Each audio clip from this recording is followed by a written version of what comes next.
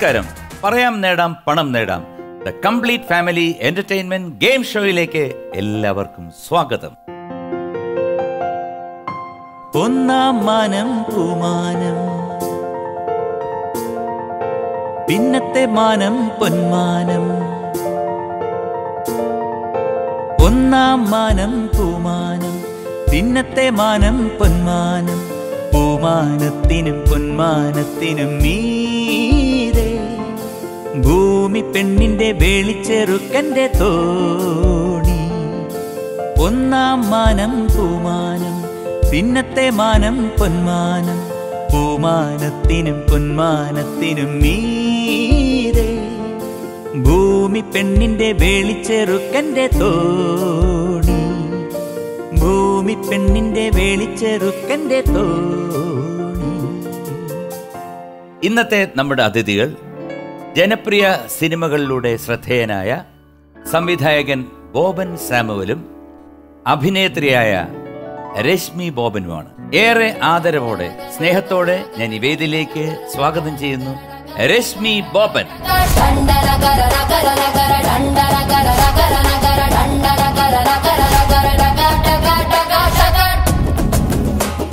നമസ്കാരം.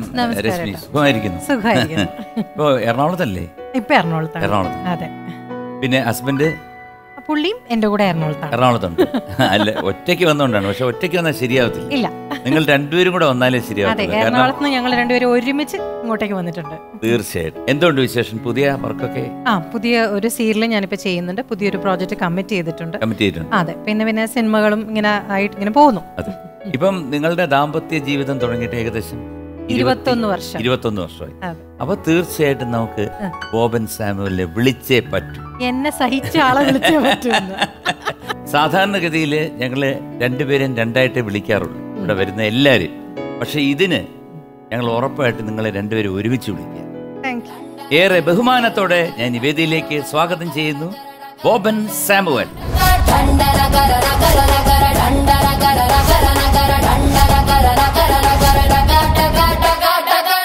നമസ്കാരം. എന്തുകൊണ്ട് വിശേഷം? ഇങ്ങനെയൊക്കെ പോകുന്നു. പുതിയ പടം. പുതിയ പടത്തിന്റെ എഴുത്തും കാര്യങ്ങളൊക്കെ നടന്നുകൊണ്ടിരിക്കുന്നു. ഇപ്പൊ കഴിഞ്ഞ ഏതായിരുന്നു? കഴിഞ്ഞ അൽമല്ലു എന്ന് പറഞ്ഞു ആ. ഓക്കെ. തുടങ്ങിയാലോ ഓ പ്ലീസ് അപ്പം ബോബൻ ആൻഡ് ബോബി. ബോബനും മോളിയും. അല്ലേ? ശരി അങ്ങനെ തന്നെ ആയിക്കോട്ടെ. കാരണം ബോബൻ എത്ര കുറെ വർഷമായില്ലേ? നയന്റീൻ നയന്റി ത്രീയിൽ അല്ലേ? തുടങ്ങിയതാണ്. എനിക്ക് തോന്നുന്നു രശ്മി ഏത് സിനിമയാണ്? മനസ്സിന് സിനിമ ആദ്യം ചെയ്ത് മനസ്സിനക്കരെയാണ്. പക്ഷേ ഈ മീഡിയയിലേക്ക് വരുന്നത് ഫസ്റ്റ് ഞാൻ ഒരു കോമ്പയറായിട്ടാണ് വരുന്നത് അതെ. ഞാൻ പിന്നെ സീരിയലിലേക്ക് കടന്നു. കല്യാണം കഴിഞ്ഞ് മൂത്ത മോനൊക്കെ ഉണ്ടായ ശേഷമാണ് സിനിമയിലേക്ക് വരുന്നത്. ഓ അങ്ങനെ. സാധാരണ പൊതുവേ പറയുമല്ലോ. നമ്മൾ കല്യാണം കഴിഞ്ഞു കഴിഞ്ഞാൽ സിനിമയിലേക്ക് വിട്ടു നിൽക്കും. ഞാൻ. കല്യാണമൊക്കെ കഴിഞ്ഞിട്ടാണ് ഞാൻ സിനിമയിലേക്ക് വരുന്നത്. എനിക്ക് ഒരു സംശയം. ഈ നയന്റീൻ നയന്റി ത്രീയിലൊക്കെ തുടങ്ങുമ്പോഴത്തേക്ക് ഈ ഈ സിനിമയുടെ സെറ്റിലൊക്കെ ആ എല്ലായിടത്തും പോകും സജീവമായിട്ട് സംവിധായകരുടെ വീടുകളിലൊക്കെ പോയിട്ടുണ്ട് പത്മരാജ സാറിന്റെ വീട്ടിൽ ചെന്നിട്ടുണ്ട്. അപ്പൊ സാറ് വന്ന് മീശ കുരുത്തിട്ട് വരാൻ പറഞ്ഞു. അങ്ങനെയൊക്കെയുള്ള സംഭവങ്ങൾ. രാവിലെ ഏഴ് മണിക്കൊക്കെ പോയി ബെല്ലടിച്ചു. അന്ന് ഈ സിനിമ എന്ന് പറയുന്നത് നമ്മുടെ ഒരു വലിയ ഒരു ഇന്നത്തെ ഇന്നത്തെ തലമുറയെ പോലെ നമുക്ക് പെട്ടെന്ന് എത്തിപ്പിടിക്കാൻ പറ്റുന്ന ഒരു മാത്രമല്ല കാരണം ഓപ്പർച്യൂണിറ്റീസിന് വേണ്ടി നമ്മൾ കിടന്ന് കഷ്ടം കഷ്ടപ്പെടും. ഞാൻ പറയുന്ന കേട്ടുണ്ട് യൂണിറ്റ് വണ്ടി കണ്ട് അന്ന് സ്കൂളിൽ പോവില്ല. എന്റെ വീടിനടുത്ത് ഷൂട്ടിങ്ങിന് എന്റെ വീടിനടുത്ത് സ്ഥിരം ഷൂട്ടിങ്ങിന് കൊടുക്കുന്ന ഒരു അന്ന് ട്രിവാണ്ടതാണല്ലോ ഞാൻ ഉള്ളൂരാ താമസം അതിനടുത്തൊരു വീട്ടിൽ സ്ഥിരം ഷൂട്ടിങ്ങാ ആ അപ്പൊ ആ അവിടെ ഷൂട്ടിംഗ് നടക്കുമ്പോൾ എന്റെ വീട്ടിൽ നിന്ന് നോക്കിയാൽ ജനറേറ്റർ വണ്ടി ഉണ്ടെങ്കിൽ അന്ന് സ്കൂളിൽ പോകില്ല കറങ്ങി അടിച്ചൊക്കെ അവിടെ നിന്ന്. അപ്പൊ അത്രത്തോളം ഭ്രമമാണ് അന്ന് ഇന്നും. അതെ. അപ്പൊ നമുക്ക് തുടങ്ങാം. പിന്നെ? കേറി പാടാ മക്കളെ.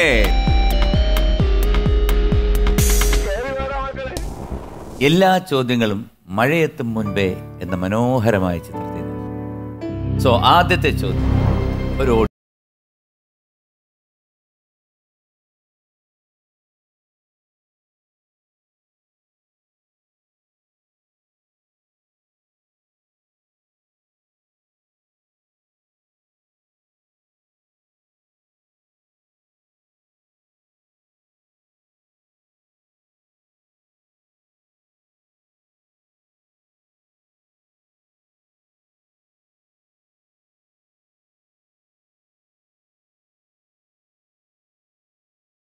ടൈറ്റിൽ ഗാനത്തിന്റെ സംഗീത സംവിധായകൻ ആരാണ്?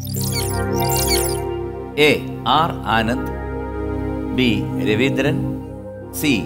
S. P. Venkatesh. ഇത് പെട്ടെന്ന് കുഴപ്പിക്കുന്ന ഒരു ചോദ്യമാണ്. കാരണം സിനിമയുടെ മറ്റ് ഹിറ്റ് പാട്ടുകളൊക്കെ ചെയ്തത് രവീന്ദ്ര മാഷാണെങ്കിലും ഈ പാട്ട് ആർ. ആനന്ദ്. എനിക്ക് ഓർമ്മയുണ്ട്. ആർ. Anand option A. ഞാൻ എടുത്തു വെച്ച് കൂട്ടുന്നു. അവിടെ ഇരിക്കട്ടെ. സിനിമയിൽ നിന്ന് സീരിയലിലേക്ക് ശ്രദ്ധ തിരിച്ച സംവിധായകൻ. കാരണം? അതിന്റെ കാരണം വേറെ ഒന്നുമില്ല. ആക്ച്വലി അന്ന് നമുക്ക് സിനിമയോടുള്ള ഭ്രമം ഒരു വശത്തുണ്ട്. പിന്നെ ഒരു ജീവിത മാർഗം. നമ്മൾ വേറൊരു ജോലിക്ക് പോയി കഴിഞ്ഞാൽ ഇവിടെ ശ്രദ്ധിക്കാൻ പറ്റില്ല. പക്ഷെ സത്യം പറഞ്ഞാൽ ഞാൻ ഇന്ന് വരെ ഒരു ജോലിക്കും പോയിട്ടില്ല. ഒരു ഇന്റർവ്യൂവിൽ പങ്കെടുത്തിട്ടില്ല. ഒരു കമ്പനിയിലോ ഒരു ഒരിടത്തോ ആരുടെയും കീഴിൽ വർക്ക് ചെയ്യാത്ത ഒരാളാണ്. അപ്പൊ അന്നും ഇതുപോലെ സിനിമ എന്താവും എന്നൊന്നും അറിയില്ല. പിന്നെ ഒരു ധൈര്യത്തിന്റെ പുറത്തങ്ങ് മുന്നോട്ട് പോവുകയാണ്. പക്ഷെ അന്നത്തെ സിനിമയുടെ ടെക്നീഷ്യന്മാരുടെ ഒരു അവസ്ഥ വളരെ പരിതാപമാണ് പ്രത്യേകിച്ച് ഈ അസിസ്റ്റന്റ് ഡയറക്ടേഴ്സ് അതെ. സിനിമയൊക്കെ കഴിഞ്ഞാൽ വല്ലതും വണ്ടിക്കൂലിയൊക്കെ കിട്ടിയാലായി കിട്ടിയാലോ? അങ്ങനെ പല പടങ്ങളിലും വണ്ടിക്കൂലി പോലും കിട്ടാതെയും വന്നിട്ടുണ്ട്. ഒരു സിനിമയ്ക്ക് നല്ല ഓർമ്മയുണ്ട്. ജോണി ആനണി അന്ന് അസോസിയേറ്റ്. എനിക്ക് പുള്ളിക്കാരന്റെ കയ്യിൽ നിന്ന് അഞ്ഞൂറ് രൂപ എടുത്ത് തന്നിട്ട് എന്നെ പാലക്കാട് ട്രെയിനിൽ കയറ്റി വിട്ടിട്ടുണ്ട്. അപ്പം അങ്ങനെയൊക്കെയുള്ള അവസ്ഥകൾ വന്നപ്പോൾ നമുക്ക് പൊതുവേ നിലനിൽപ്പിന്റെ ഒരു പ്രശ്നവും കൂടെ വന്നു അവിടെ. അങ്ങനെ ഇരുന്നപ്പോഴാണ് ഞാൻ യാദൃശ്യമായിട്ട് ഒരു ദൂരദർശന്റെ ഒരു സീരിയൽ വർക്ക് ചെയ്യാം. അപ്പം അന്ന് പതിമൂന്ന് എപ്പിസോഡിന്റെ സീരിയൽ അപ്പൊ എനിക്ക് ഇതിനെ കുറിച്ച് വലിയ താളം ഒന്നും അറിയില്ല. എന്നാലും പോയി വർക്ക് ചെയ്തു. അപ്പോൾ അപ്പൊ ഒരു മുപ്പത് ദിവസം വർക്ക് ചെയ്തു. അപ്പൊ എന്റെ മനസ്സിൽ ഇത്രയും വലിയ ബഡ്ജറ്റ് സിനിമകളിലൊക്കെ വർക്ക് ചെയ്തിട്ട് കിട്ടുന്ന പൈസയുടെ ഒരു നാലിലൊന്ന് പോലും ചിലപ്പോൾ ഒന്നും കിട്ടില്ല എന്നുള്ള പ്രതീക്ഷയോടെയാണ് ഞാൻ പോയത് വർക്ക് ചെയ്യാം പക്ഷേ എന്നെ ഞെട്ടിച്ചുകൊണ്ട് ആ പതിമൂന്ന് എപ്പിസോഡ് കഴിഞ്ഞപ്പോൾ ഒരു നല്ല ഒരു സംഖ്യ കൈ കിട്ടി. പോരെ. അങ്ങനെ എത്ര കുറെ സീരിയൽ ഇല്ല? ഞാൻ ഇൻഡിപെൻഡന്റ് ആയിട്ട് രണ്ടോ മൂന്നോ സീരിയലേ ചെയ്തിട്ടുള്ളൂ. അസിസ്റ്റന്റ് ഡയറക്ടർ ആയിട്ട് ഒരുപാട് സീരിയൽ അസോസിയേറ്റ് ആയിട്ട് വർക്ക് ചെയ്തിട്ടുണ്ട്. അന്നത്തെ ഈ അസോസിയേറ്റ് ആയിട്ട് വർക്ക് ചെയ്യുന്ന പറഞ്ഞാൽ ഈ സിനിമയിലും സീരിയലും ആയിട്ട് നമ്മുടെ ഇപ്പോഴത്തെ പ്രമുഖരായിട്ടുള്ള ആരൊക്കെയാണ് വർക്ക് ചെയ്തിട്ടുള്ളത്? ഞാനാ. ഞാൻ എനിക്കൊരു വലിയ ഭാഗ്യം കിട്ടിയെന്ന് വെച്ചാൽ ഞാൻ സീരിയൽ വർക്ക് ചെയ്യുന്ന പറഞ്ഞാൽ സീരിയലിന്റെ ഏറ്റവും സുവർണ കാലഘട്ടത്തിലാണ് ഞാൻ ചീഫ് അസോസിയേറ്റ് ഡയറക്ടറായിട്ട് വർക്ക് ചെയ്യുന്നത്. കെ കെ രാജീവിന്റെ രാജ് തിലകൻ സാറ് ജയഭാരതി രതീഷ് ഏട്ടൻ. ശ്രീവിദ്യ അമ്മ ഇവരൊക്കെ മലയാള സീരിയലിലേക്ക് അഭിനയിച്ച എല്ലാ സീരിയലിനെയും ചീഫ് അസോസിയേറ്റ് ഞാൻ. അപ്പൊ ഇവരുമായിട്ടൊക്കെ ഒന്ന് അടുത്ത് പിന്നെ, അന്ന് ഒരു സിനിമയിൽ എനിക്ക് ഒരിക്കലും അടുത്ത് കിട്ടിയിട്ടോ അടുത്ത് കാണാനോ കഴിഞ്ഞില്ല പക്ഷേ തിലകൻ ചേട്ടൻ നമ്മൾ പെയ്തൊഴിയാതെ എന്ന് പറഞ്ഞ് അപ്പോൾ ഒരു സീരിയലിന്റെ ഒരു ഫുൾ സീൻസ് എന്നൊക്കെ പറഞ്ഞ ആയിരം ആയിരത്തഞ്ഞൂറ് സീൻസ് ഒക്കെ വരും. എനിക്കൊരു വലിയ അവാർഡ് തന്നിട്ടുണ്ട്. ആ സീരിയലിന്റെ പാക്കപ്പ് സമയത്ത് എന്നോട് പറഞ്ഞു എന്റെ അഭിനയ ജീവിതത്തിൽ എനിക്ക് ഏറ്റവും കൂടുതൽ സീൻ വിവരിച്ചു തന്നിട്ടുള്ള ഒരു അസോസിയേറ്റ് ഡയറക്ടർ താങ്കളാണെന്ന് പറഞ്ഞിട്ട് തിലേൻ ചേട്ടനോട് എന്നോട് പറഞ്ഞു കാര്യം അത് സ്വാഭാവികമാണ്. ഒരു സീരിയലല്ലേ നമ്മൾ രണ്ട് മൂന്ന് വർഷം അതിന്റെ കൂടെ വർക്ക്. അങ്ങനെ ഒരു വലിയ ഭാഗ്യം ഈ താരങ്ങളോടൊപ്പം എനിക്ക് ചെലവഴിക്കാൻ പറ്റും. So answer is R Anand. ഉത്തരം ശരിയാണ്. കൺഗ്രാറ്റുലേഷൻസ് രണ്ടായിരം രൂപ സമ്മാനമായി ലഭിച്ചിരിക്കുന്നു. അതാണല്ലോ അതിന്റെ ഒരു. ഇത്. രണ്ടാമത്തെ ചോദ്യം. മഴയെത്തും മുൻപേയിൽ എത്ര രംഗങ്ങളിൽ മഴയെ ചിത്രീകരിച്ചിട്ടുണ്ട്? എ ഒന്ന് ബി മൂന്ന് സി രണ്ട്. ഇത് പേര് കേൾക്കുമ്പോൾ നമ്മൾ വിചാരിക്കും ഈ സിനിമ മുഴുവൻ അല്ല എന്റെ ഒരു ചോദ്യം കൺഫ്യൂഷൻ ഭയങ്കര ഒന്നാണോ രണ്ടാണോ എന്നുള്ളതാണ്. ഒരു ഒരു അത് തവണ. സിനിമ ഇത്രയും സ്നേഹിക്കുന്നതും ഒരു ഗ്രേറ്റ് ഡയറക്ടർ അതെ ഒരിക്കലും തെറ്റില്ല. ഞാൻ പറയും അത് അന്നൊരു ചർച്ചാ വിഷയ ഒരു കാര്യമാണ്. സിനിമയുടെ ഒരു മൊബൈൽ എൻസൈക്ലോപീഡിയ സോ എ ഞാൻ ഒന്നെടുത്ത് വെച്ച് കൂട്ടി. അവിടെ ഇരിക്കട്ടെ. രശ്മി ഇപ്പൊ എത്ര സിനിമകളിൽ അഭിനയിച്ചിട്ടുണ്ട്? ആ, എനിക്ക് തോന്നുന്നു ചേട്ടാ അറൌണ്ട് ഒരു സിക്സ്റ്റി സിനിമാസ് ചെയ്തിട്ടുണ്ട്. അറുപത് സിനിമ ആ. അത് ഈ ട്വന്റി ഇയേഴ്സിന്റെ സ്പാനിലാണ് ഞാൻ ഈ പറയുന്ന പോലെ കണ്ടിന്യൂസ് സിനിമ അല്ലെങ്കിൽ സീരിയൽ ചെയ്യില്ല. കാരണം പിള്ളേരും ചെറുതായിരുന്നു ആ സമയത്ത്. അപ്പൊ ഈ പറഞ്ഞ പോലെ അടുപ്പിച്ച് കുറച്ച് നാൾ സിനിമകൾ ചെയ്ത് കഴിഞ്ഞാൽ പിന്നെ കുറച്ച് നാളത്തേക്ക് ഒരു ചെറിയൊരു ബ്രേക്ക് എടുക്കും. അങ്ങനെ ഈ പറഞ്ഞ പോലെ ഫാമിലിയും പ്രൊഫഷനും ബാലൻസ് ചെയ്ത് കൊണ്ടുപോകേണ്ട ഒരു ചടങ്ങുണ്ടല്ലോ. കാരണം കുഞ്ഞുങ്ങൾ വലുതായി കഴിഞ്ഞിട്ട് പിന്നെ നമ്മൾ അതിനെപ്പറ്റി അതെ, ചിന്തിച്ചിട്ട് കാര്യമില്ല. സോ അങ്ങനെയുള്ളത് അതുകൊണ്ടായിരിക്കാം ഇരുപത് കൊല്ലത്തിനിടയിൽ ഈ പറഞ്ഞ അറുപത് നമ്പറിൽ ചുരുങ്ങിയത്. അല്ല അറുപത് നമ്പർ ആണെങ്കിലും എല്ലാവർക്കും പരിചിതമാണല്ലോ. കാരണം ചെയ്ത വേഷങ്ങളെല്ലാം നല്ല വേഷങ്ങളാണ്. സിനിമയും സീരിയലും ഒരുപോലെ ഞാൻ കൊണ്ടുപോകുന്നുണ്ടായിരുന്നു. ഈ പറയുന്ന പോലെ സീരിയൽ നിന്നാണ് ഞാൻ സിനിമയിലേക്ക് പോകുന്നത്. എന്റെ ഏഷ്യനെറ്റിൽ രാജീവേട്ടൻ ചെയ്ത സീരിയൽ കണ്ടിട്ടാണ് എനിക്ക് സിനിമയിലേക്ക് സത്യൻ സാറിന്റെ ഓഫർ വരുന്നത്. അപ്പോഴും ഞാൻ സിനിമ സിനിമയിലേക്ക് പോയെങ്കിലും സീരിയലിനെ മാറ്റി നിർത്തിയിട്ടില്ല. സൈമിൾട്ടേനിയസ്ലി വരുന്ന പ്രോജക്ട്സ് ഒക്കെ ചെയ്തുകൊണ്ടിരിക്കുമായിരുന്നു സത്യൻ സാർ അല്ലാതെ ഏതൊക്കെ ഡയറക്ടേഴ്സിന്റെ ഒരുപാട്. ഷാജി കലാസിന്റെ വർക്ക് ചെയ്തിട്ടുണ്ട് കമൽ സാറിന്റെ കൂടെ ചെയ്തിട്ടുണ്ട്. ഒട്ടുമുക്കാലും ഏറ്റവും കൂടുതൽ. മറക്കാനാകാത്ത ഒരു എന്താണ് ഒരു വേഷം വേഷത്തിന്റെ അല്ല വേഷങ്ങൾ ഈ പറയുന്ന പോലെ മറക്കാനാവാത്ത വേഷങ്ങൾ എന്ന് പറയുമ്പോൾ ചേട്ടാ എനിക്ക് തോന്നുന്നു മറ്റുള്ളവർ കണ്ട് നമ്മളെ അപ്രിഷിയേറ്റ് ചെയ്യുന്ന ക്യാരക്ടറിനാണ് നമുക്ക്. അപ്പൊ എനിക്ക് തോന്നുന്നു സിനിമയിൽ അങ്ങനെ ആരും എക്സലന്റ് എന്ന് പറയുന്ന ഒരു പെർഫോമൻസ് എനിക്ക് വന്നിട്ടില്ല എന്ന് തന്നെയാണ് എന്റെ വിശ്വാസം. ചേച്ചി ആ സിനിമ നന്നായിട്ടുണ്ട് കേട്ടോ പക്ഷേ എനിക്കൊന്ന് കൂടുതലും സീരിയലിലായിരിക്കും കാരണം സീരിയലിന്റെ ഈ വർക്ക് സ്പാൻ എന്ന് പറയുന്നത് കുറച്ച് വലിപ്പമാണ്. ക്യാരക്ടറിന് പോർട്രേ ചെയ്യാനുള്ള സ്പേസ് കൂടുതലാണ്. അപ്പൊ എനിക്ക് ദൂരദർശനിൽ പണ്ട് ചെയ്ത ക്യാരക്ടേഴ്സ് ഇപ്പൊ ഇരുപത് കൊല്ലത്തിന് ശേഷവും ആൾക്കാർ ആ കഥാപാത്രത്തിന്റെ പേര് ചൊല്ലി പറഞ്ഞിട്ട് അപ്രിഷിയേറ്റ് ചെയ്യുമ്പോൾ അതൊക്കെ ഒരുപാട് സന്തോഷമുള്ള കാര്യമാണ്. അപ്പൊ എനിക്ക് തോന്നുന്നു എനിക്ക് സീരിയലിലാണ് കൂടുതൽ പോർട്രേ ചെയ്യാൻ പറ്റിയിട്ടുള്ളത്. സിനിമയ്ക്ക് നല്ല ക്യാരക്ടറിന് വേണ്ടി ഞാൻ വെയിറ്റിംഗ് ആണ്. നല്ല നല്ല സംവിധായകർക്ക് വേഷം തരട്ടെ എന്നുള്ള പ്രതീക്ഷയിലാണ്. എന്താണ് ഈ കൈ ഇങ്ങനെ പോയത്? അല്ല ബോബൻ നോക്കി ഇനി അവിടെ ആരെങ്കിലും ഉണ്ടോ ഡയറക്ടർ ഞാനല്ല ഒരു ഡയറക്ടറോട് വന്നിട്ട് മര്യാദയ്ക്ക് അവസരം ചോദിക്കാവുന്ന ഒരാൾ വീട്ടിലാണുള്ളത്. കാര്യമില്ല. അതെന്താണ് അങ്ങനെ? അല്ല ഉള്ള അതേ ഒരു അവസ്ഥ വർക്ക് സ്ഥലത്തും വരണ്ടെന്ന് വെച്ചിട്ടാണ്. അവിടെയെങ്കിലും ഇത്തിരി പലതരം ക്യാരക്ടേഴ്സ് നമ്മൾ കാണുന്നുണ്ടല്ലോ. അപ്പൊ വീട്ടിലുള്ളത് ഇനി ജോലി സ്ഥലത്തൂടെ ജോലി സ്ഥലത്തൂടെ നമ്മൾ ചുമക്കേണ്ട കാര്യമില്ലല്ലോ. പക്ഷെ ഒരു ദിവസം വരും കേട്ടോ. വരും. വരും. ഓങ്ങിയിരുന്നു. കാരണം എന്നെ വിളിച്ചിട്ട് ഞാൻ പറയും ഇത്ര പ്രതിഫലം. പിന്നെ മാത്രമല്ല എനിക്ക് ഇത്രയും ഡേറ്റ് ഒരുമിച്ച് തരാൻ പറ്റില്ല? വേണമെന്നുണ്ടെങ്കിൽ ആദ്യം ഒരു രണ്ട് ദിവസം. അതെ. പിന്നെ അത് എന്റെ ദിവസവും വരും. എല്ലാവർക്കും ഒരു ദിവസമുണ്ട്. അതെ. സോ എ ഒന്ന്. ഉത്തരം ശരിയാണ്. കൺഗ്രാചുലേഷൻസ് വീണ്ടും രണ്ടായിരം രൂപ സമ്മാനമായി ലഭിച്ചിരിക്കുന്നു അതാണല്ലോ ഇതിന്റെ ഒരു അല്ല. അത്. അത്. മൂന്നാമത്തെ ചോദ്യം. ഒരു വീഡിയോ നമുക്കൊക്കെ വേറെ എന്ത് എന്റർടൈൻമെന്റ് അതുകൊണ്ടാണ് കൊച്ചുങ്ങൾ വേണ്ടെന്ന് ഞങ്ങൾ തീരുമാനിച്ചത്. പിന്നെ ഞങ്ങൾക്ക് കൊച്ചുങ്ങൾ ഇല്ലെങ്കിലും കൂട്ടിന് സംഗീതമുണ്ട്. മനസ്സിലായില്ല അല്ലേ ഞാൻ നല്ലൊരു പാട്ടുകാരനാണ്. കോളേജിൽ ഏത് പരിപാടിക്കും ഞാൻ പാടും. വേണം ഇപ്പൊ പാടാം.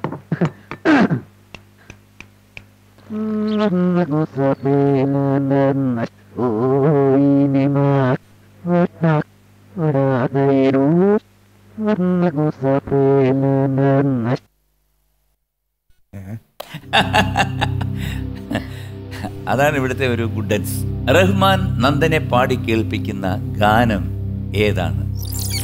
എ. കുടുക്കിട്ട കോഴി കുളക്കോഴി. ബി. ചന്ദന ലേപ സുഗന്ധം.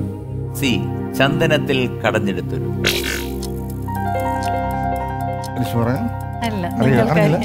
ഒരു കൺഫ്യൂഷൻ ഉണ്ട് ഇതിൽ? ചന്ദന ലേവസ് ആ അതന്നെയാണ് ഞാനും ഉദ്ദേശിച്ചത്. അതുകൊണ്ടാണല്ലോ നിങ്ങൾ ഇത്രയും നാൾ ഒരുമിച്ചിരിക്കുന്നത് ഈ ഒരുപോലെ ചിന്തിക്കുന്നത് ഒരു പ്രശ്നമാണ് ചേട്ടാ. അല്ല നല്ലതാണ്. അല്ല പൊതുവെ നമ്മൾ പറയല്ലോ ഓപ്പോസിറ്റ് പോൾ അട്രാക്ട്സ് എന്ന് പറയല്ലോ. ഇത് രണ്ടും ഒരുപോലെ ചിന്തിക്കുന്നതിന്റെ പ്രശ്നങ്ങളാണ്. ബി ചന്ദന ലേപ സുഗന്ധം ഞാൻ എടുത്തു വെച്ച് പൂട്ടി അവിടെ ഇരിക്കട്ടെ. അപ്പൊ എന്തായാലും രശ്മിയുടെ ഒരു പാട്ട്.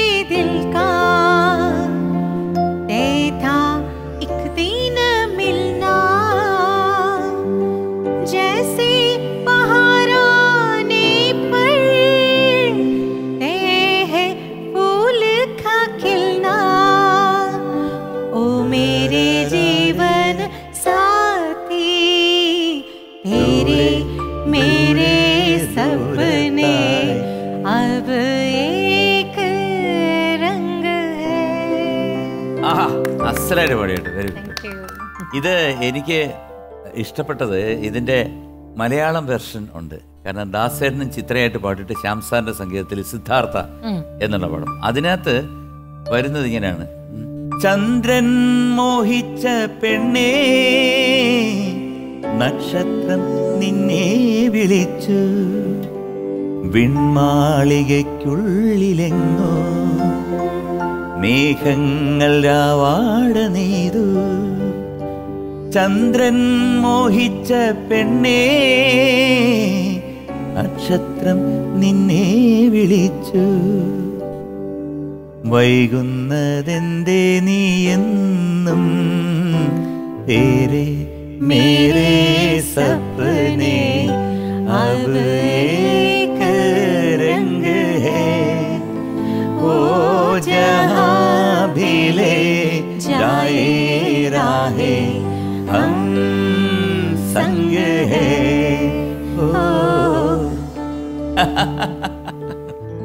അപ്പം ഓപ്ഷൻ ബി ചന്ദന ലേപ സുഗന്ധം. ഉത്തരം ശരിയാണ്. കൺഗ്രാറ്റുലേഷൻസ് രണ്ടായിരം രൂപ സമ്മാനമായി ലഭിച്ചിരിക്കുന്നു. അതാണല്ലോ അതിന്റെ ഒരു ഇത്. നാലാമത്തെ ചോദ്യം. ശ്രദ്ധിക്കൂ. ഏത് രംഗത്തിൽ നിന്നാണ് സിനിമയുടെ പൂർണമായ ഫ്ലാഷ് ബാക്ക് മാറി സ്റ്റോറി ആരംഭിക്കുന്നത്? എ റഹ്മാനൊപ്പം കാറിൽ സഞ്ചരിക്കുമ്പോൾ. ബി നന്ദന്റെ വാടക വീട്ടിൽ നിന്നും. സി റഹ്മാന്റെ വീട്ടിലെത്തുമ്പോൾ. രണ്ട് സ്ഥലത്ത് ഫ്ലാഷ് കട്ട് അല്ലല്ല.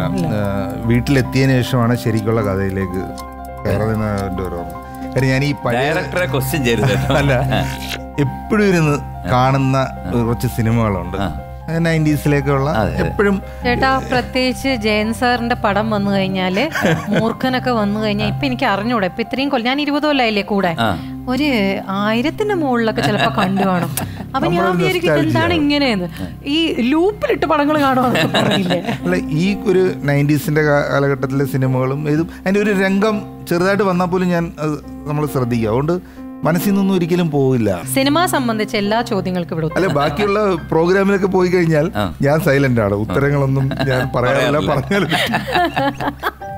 സോ സി റഹ്മാന്റെ വീട്ടിലെത്തുമ്പോൾ ഞാൻ എടുത്തു വെച്ച് പൂട്ടി. ജനപ്രിയൻ റോമൻസ് അല്ലേ? അതാണ് ഏറ്റവും കൂടുതൽ അപ്രീഷിയേറ്റ് അപ്രീഷിയേറ്റ് ചെയ്ത ചിത്രം. ഇപ്പൊ എത്ര ചിത്രങ്ങൾ എടുത്തു ആറ്. ആറെണ്ണം. ഏതൊക്കെയാണ്? Janapriyan Romans Happy Journey. ഷാജഹാനും ബരിക്കുട്ടിയും വികടകുമാരൻ അൽബൽ. ഇനിയിപ്പോ പുതിയൊരു പ്രോജക്റ്റിൽ ഇതിൽ ഏറ്റവും കൂടുതൽ പോപ്പുലാരിറ്റി തന്ന ഫിലിം എന്ന് പറയുന്നത് ജനപ്രിയനും റോമൻസ്. റോമൻസ്. ഇൻഡസ്ട്രി ഹിറ്റ് എന്ന് പറയുന്നത് റോമൻസ് ആയിരുന്നു. സി റഹ്മാന്റെ വീട്ടിലെത്തുമ്പോൾ ഉത്തരം ശരിയാണ്. കൺഗ്രാറ്റുലേഷൻസ് വീണ്ടും രണ്ടായിരം രൂപ സമ്മാനമായി ലഭിച്ചിരിക്കുന്നു. അതാണല്ലോ ഇതിന്റെയും അതിന്റെ ഒരു അതും ഇതും. അതും ഇതും. അതും ഇതും. കേറി വാടാ മക്കളിൽ അഞ്ചാമത്തെ ചോദ്യം. ലാസ്റ്റ് ക്വസ്റ്റ്യൻ ഒരു വീഡിയോ കാണാം. നന്നായിരുന്നു. എന്ത്? പേപ്പർ വാല്യൂഷനത്തിൽ തടസ്സപ്പെട്ടെങ്കിലും പാടാനുള്ള കഴിവിനെ അപ്രീഷിയേറ്റ് ചെയ്യാൻ വയ്യ. ഏത് ക്രൂരനും സംഗീതത്തിൽ വീഴും. ഇന്നലെ ഞാനും വീഴും അങ്ങനെ അലമേലുവിനോട് ഒരു ഇഷ്ടമൊക്കെ തോന്നുകയും ചെയ്തു. കുറച്ച് സാധനങ്ങളൊക്കെ വാങ്ങാനുണ്ടായിരുന്നു. ഒരു ഷോപ്പിൽ കയറിയപ്പോൾ എന്തോ അലമേലുവിനെ പറ്റി ഓർത്തു. ഊട് തന്നതല്ലേ ഒരു പെർസെന്റ് അങ്ങോട്ടും തണമെന്ന് തോന്നി വാങ്ങിച്ചു. ഹാബിറ്റ് നന്ദൻ ശ്രുതിക്ക് നൽകുന്ന ഗിഫ്റ്റ് ബോക്സിൽ ഉണ്ടായിരുന്നത് എന്താണ്? എ പൂച്ചക്കുട്ടി ബി പാവക്കുട്ടി സി ടെഡി ബിയർ. അത് ഞാൻ ഉത്തരം പറയാം. എനിക്ക് ഇതുവരെ വാങ്ങിച്ചു തരാത്തൊരു സാധനം. Teddy bear. C teddy bear. ചെടി പോയിട്ടൊരു ബിയറെങ്കിലും വാങ്ങിച്ചു കൊടുത്തിട്ടായിരുന്നു അപ്പൊ സി ടെഡി ബിയർ ഞാൻ എടുത്തു വെച്ച് പൂട്ടി. അവിടെ ഇരിക്കട്ടെ. അപ്പോഴാണ് എന്റെ ഒരു മറ്റൊരു ചോദ്യം വരുന്നത്. ബോബൻ കുറേ സിനിമകൾ എടുത്തല്ലോ. എന്തുകൊണ്ടാണ് രശ്മി അതിനകത്തില്ല? അല്ല രശ്മി അഭിനയിക്കുന്നുണ്ട്. അഭിനയിച്ചിട്ടുണ്ട്. ആദ്യത്തെ. പടത്തിൽ അഭിനയിച്ചു ചേട്ടാ. അത് കഴിഞ്ഞ് ലാസ്റ്റ് പടം. ഇപ്പൊ ലാസ്റ്റ് പടം ചെയ്തല്ലോ. അതിൽ ഞാൻ പറഞ്ഞു എനിക്ക് വേഷമില്ല ഞാൻ വീട്ടിൽ കയറ്റൂല എന്ന് പറഞ്ഞു. അപ്പൊ ഒരു ചെറിയ വേഷം തോന്നുന്നു ഭീഷണിയെ നടക്കുള്ളൂ ഇനി. ഇത് അറ്റ കൈ പ്രയോഗിച്ചതാ. നമ്മൾ നേരത്തെ പറഞ്ഞ പോലെ സെറ്റിൽ നമുക്ക് സമാധാനം. സമാധാനം. പക്ഷെ ഒന്നുണ്ട് സർ. സെറ്റിൽ പോയി കഴിഞ്ഞാൽ ഞാൻ സർ എന്നല്ലാതെ ചേട്ടാന്നോ ഇച്ചായെന്നോ വിളിക്കാറില്ല. ഏയ് തരേണ്ട ബഹുമാനൊക്കെ തരാറില്ലേ? സാറെന്നോ അച്ഛന്നോ അപ്പൂപ്പാന്നോ. അങ്ങനെയല്ല ലൊക്കേഷനിൽ പോയാൽ ഇപ്പൊ ചെറിയ ഡയറക്ടേഴ്സ് നമ്മളെക്കാൾ പ്രായം കുറഞ്ഞ ഡയറക്ടേഴ്സ് ആണെങ്കിലും ഞാൻ പേര് വിളിക്കില്ല. സർ എന്ന് മാത്രമേ സംബോധന ചെയ്യുള്ളൂ. അപ്പൊ തരാനുള്ള ബഹുമാനൊക്കെ അത് എന്റെ ഒരു പോളിസി കേട്ടോ give respect and take respect അത് എന്നുള്ളതാണ്. ഞാനും ഒക്കെ അങ്ങനെ തന്നെ okay so C teddy bear ഉത്തരം ശരിയാണ്. കൺഗ്രാറ്റുലേഷൻസ് പതിനായിരം രൂപ സമ്മാനമായി ലഭിച്ചിരിക്കുന്നു. ഇതുവരെ രണ്ടായിരം രണ്ടായിരം ആയിരുന്നല്ലോ. അത് കൂട്ടി കൂട്ടി ഇത്രയായി ഞാൻ സോ ഇന്നിവിടെ നമ്മുടെ സമയം അവസാനിച്ചിരിക്കുകയാണ്. നാളെ രാത്രി എട്ട് മണിക്ക് വീണ്ടും നമുക്ക് കുറച്ച് കൂടിയ വിശേഷങ്ങളുമായിട്ട് നമുക്ക് ഇവിടെ പോരാ. Okay. Till then good night sweet surgery എന്തോ വന്നേ? ആ. എന്തോ ഒരു മരണക്കുറിപ്പൊക്കെ എഴുതി വെച്ചിട്ട്. കഴിഞ്ഞ സർജറിയിൽ ഭയങ്കര ഇമോഷണലി ഭയങ്കര ഡൗൺ ആയിരുന്നു. ഫോണിൽ ഇതുപോലെ വീഡിയോ അച്ഛനൊരു വീഡിയോ പിള്ളേർക്ക് വേണ്ടി ഒരു വീഡിയോ അച്ഛനും അമ്മ അവർ കേൾക്കുമ്പോൾ മിക്കവാറും എങ്ങാനും എന്തെങ്കിലും സംഭവിച്ച മോൻ ഇത് എല്ലാവർക്കും അയച്ചു കൊടുക്കണം. അച്ഛനും കൊടുക്കണം. അച്ഛനകത്താവാൻ പാടില്ല.